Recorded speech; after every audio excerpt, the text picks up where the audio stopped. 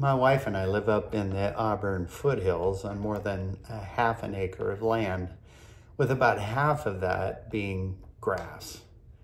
Since we first moved into that place in early 2021, I regularly push mow a large expanse of the backyard. Usually it takes me close to two hours to get the job done. Despite the rather long time, I usually enjoy it. I like to mow.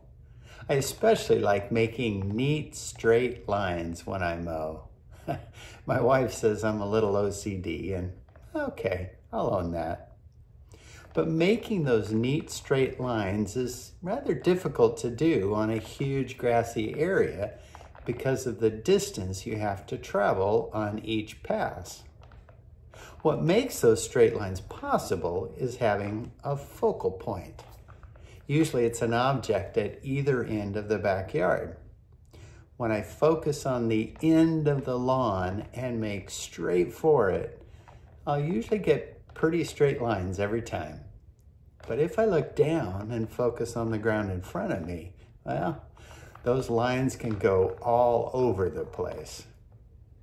Working with the end in mind really helps with the success of that particular chore. This is the same in our lives. Once we understand the end game, we can make much better decisions early on and mid-game. This Sabbath, we will step away from the book of Proverbs and step back into the life of Solomon, particularly his later life. I want to take another look at this very wise guy and see how he lived his life and what it has to teach us about finishing well.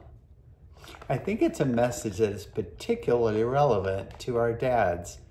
So make your plans to join us as we continue to learn to wisely navigate our lives. I'm Pastor Randy Speyer.